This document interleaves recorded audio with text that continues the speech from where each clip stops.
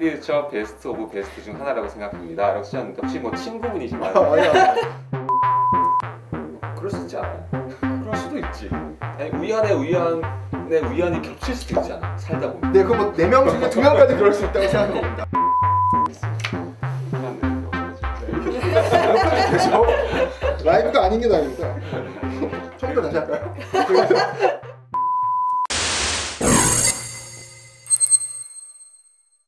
저희 피디첩 그 피디들이랑 같이 취재 뒷얘기를 하는 피디첩 코멘터리를 오랜만에 다시 시작하겠습니다. 네, 저는 어, 이 PD 진행을 하고 있는 서정문 PD입니다.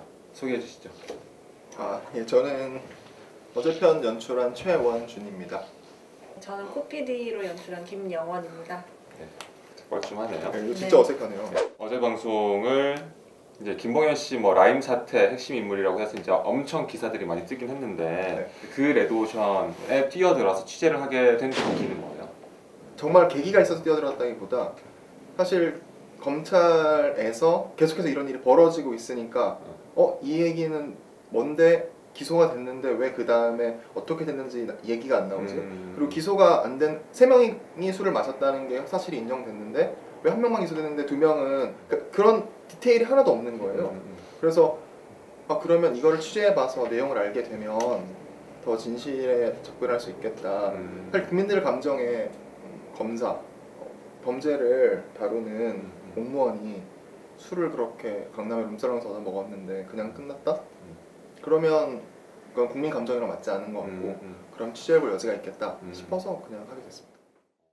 근데 이제 취재하시면서 조금 가장 충격적인 어떤 뭐 이야기가 있었다면 혹은 가장 좀 분노 포인트가 있었다면 음, 사실 모든 부분이 분노 포인트이긴 한데 저희가 진술 조서를 입수해서 내용을 다 확인했는데 검사들의 답변이 정말 뻔뻔하게 이를 데 없어서 거기서 되게 분노를 했던 것 같아요. 뭐 이건 저희 방송에도 나왔었지만 택시 기록에서 명확하게 이 사람이 유흥주점에서 간사로 이동한 기록이 있음에도 불구하고 자기는 그곳에 간 사실이 없고 음. 그 기록이 왜 있는지 자기도 모르겠다. 어, 라고 얘기를 하는 그냥 이렇게 부인하면 끝이 날 줄 알았나 싶은 어. 부분들이 있어서 거기서 굉장히 좀 어이가 없었던 것 같습니다. 어.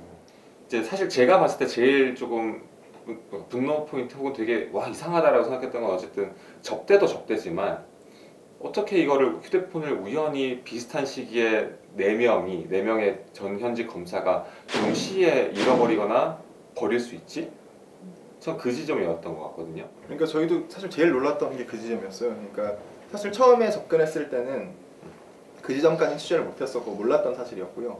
음, 초창기 취재는 술값에 좀 집중이 되어 있었는데 술자리와 근데 취재를 하다 보니까 진술 조서를 입수할 수 있게 되었고 음. 그러면서 어, 핵심 인물인 말씀하셨던 전직 검사 변호사, 음. 전직 검사 출신 변호사와 현직 검사 세 명이 매우 동일한 시기 방송을 보시면 아시겠지만 김봉현 씨가 술자리 접대를 폭로한 이후 2주 내에 음. 어, 네 명이 동일하게 음. 휴대폰을 분실하거나 폐기한 정황이 나타난 거예요. 그리고 어, 그거 자체를 얘기하는 것 자체가 너무 뻔뻔하죠. 그러니까 어, 짜증나서 버렸다. 뭐 그럴 수 있지 않아요? 뭐 음, 그럴 수 있죠. 한 명 정도는 그럴 수 있죠. 네. 그럴 수 있지. 만에 하나 한 명 정도는 그럴 수 있습니다. 너무 여기저기 전화가 많이 와 짜증나서 한 명은 버릴 수 있어요. 네, 네. 근데 두 번째는 어, 와이프랑 양재천을 산책하다가 이것 때문에 부부 싸움을 했고 그런 과정에 분실했다. 그럴 수도 있지. 네, 그거 네명 중에 두 명까지 그럴 수 있다고 생각합니다. 네, 그럼 두 명은 그럴 수 있다고 칠게요.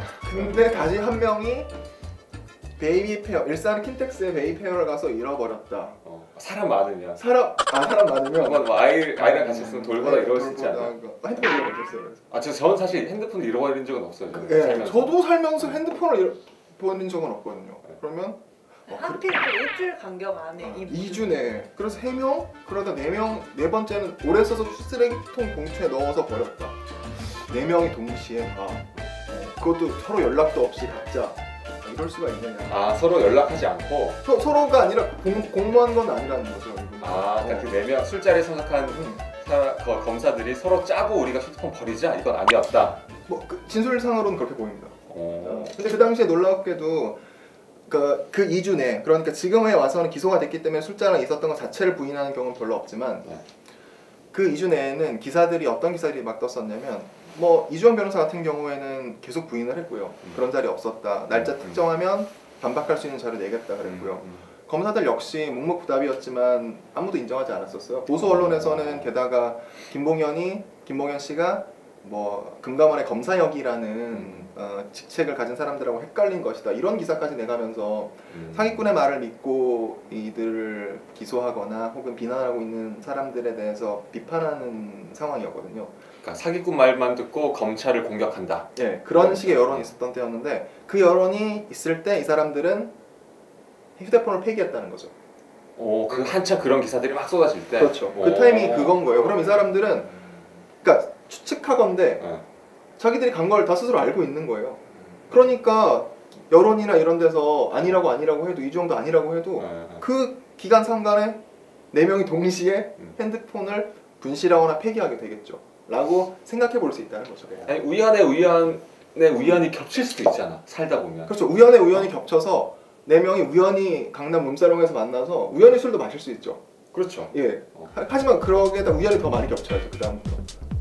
우연이 계속되면 인연. 아 필연이. 그렇, 그렇다면 필연이다. 이제 그러면 이제 저희 그 저희 유튜브 채널에 이제 방송을 보시고 나서 그 여러 질문들을 주셨는데 시청자 여러분들께서 그- 그 사실 이제 이제 피트숍이 옥중 인터뷰를 진행한 김봉현 씨는 사실 지금 구속되어 있는 게 뭐 배임, 횡령, 사기, 공문서 위조, 사문서 위조 등등 혐의가 되게 많잖아요. 이를테면은 쉽게 믿기는 어려운 사람 아니냐. 근데 우리가 그 사람의 이야기를 듣고 뭔가를 취재하고 뭔가를 이야기한 건데 조금 그러려면은 이제 그 김봉현 씨의 진술, 김봉현 씨가 하는 이야기들에 대한 어떤 좀 점검 혹은 뭐, 뭐 팩트 체크 같은 게 있었을 것 같은데 범죄인이 하는 얘기라고 해서 거기에 진실이 없다. 음. 이렇게 판단할 수는 없었다고 생각했습니다. 저희도. 음, 어 그리고 게다가 그 김봉현 씨의 진술들은 특히나 이 검찰을 술접대했다라고 한 것의 진술들은 매우 상세했고 또 디테일했거든요. 음. 그리고 전후 관계가 상당히 맞아 들어가 있었고 음, 그래서 아 이건 매우 진실일 가능성이 있다. 음. 그렇다면 이건 매우 또 큰 문제다. 음. 2020년에 대한민국 검찰이 음. 여전히 어, 이런 행태를 보이고 있다는 것을 보여주는 거기 때문에 음. 그래서 일단 그건 그런 가능성을 가지고 취재를 시작했고요. 그리고 음, 김봉현 측 어, 관계자들과 접촉이 돼서 어, 검찰이 조사한 기록들을 좀 확인한 결과 최소한 그 이술자리 접 대 사, 사건 같은 경우에는 매우 진실에 근접하다라고 판단을 했고요. 음, 그런데 여기서 더해서 김봉현 씨가 그 추가로 폭로한 사실들이 좀 많긴 많거든요. 네. 근데 그렇다면 이런 사안들을 과연 검찰이 음, 이 술자리를 조사한 것만큼 조사한다면 음. 어, 어떤 진실에 도달할 것인가? 음. 그렇죠. 사실 김봉현 씨의 그 술자리 접대 폭로 전에는 이 사건 자체가 알려지지도 않았고 심지어 폭로한 다음에는 뭐 검찰이나 뭐 보수 언론 쪽에서 그런 일 없다라고 또 공격을 받았고 사실 알고 보니까 그게 다 사실이었고 맞습니다. 여기 뭐 이제 댓글 중에 하나 그냥 최웅식 님인데 네. 그냥 상식을 가지고 있는 사람이라면 검사들의 행동을 이해할 수 없지 않나? 물음표 두 개. 뭐 어떠셨어요? 좀 최대한 이해해 보려고 한번 애써 보셨나요? 검사들의 행동을? 그러니까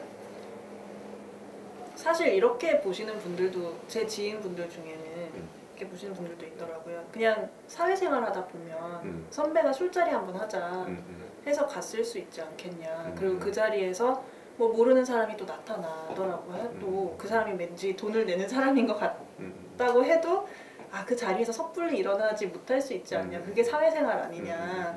그런 얘기 하셨는데요. 근데 저희 인터뷰했던 이제 검사 출신 변호사님들 중에 이번 사건 보면서 굉장히 충격받았다고 하시면서 음.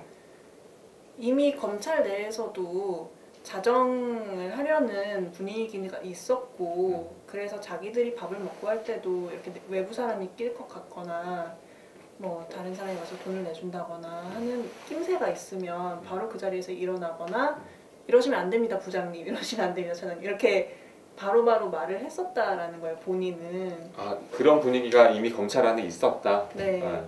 근데 지금 물론 그분은 특수부 출신은 아닙니다만은 그런 상황에서 지금 이 검사들의 행동은 그 자리라면 마땅히 박차고 일어났어야 음. 하는 게 검사들이 봐도 상식적이고 어쨌든 검사들로서는 충분히 의심받을 수 있는 상황을 만드는 것 자체를 피했어야 하지 않는가 음. 그런 말씀을 하시더라고요. 음, 알겠습니다. 그러면은 저기 뭐 댓글도 이제 하나 읽어드릴게요. 성주리 예, 이성주님인 것 같은데 다양한 상황과 사건 그리고 인물들의 관계를 간결하면서도 입체적으로 사용하는 한 편의 명작 다큐멘터리를 공급합니다.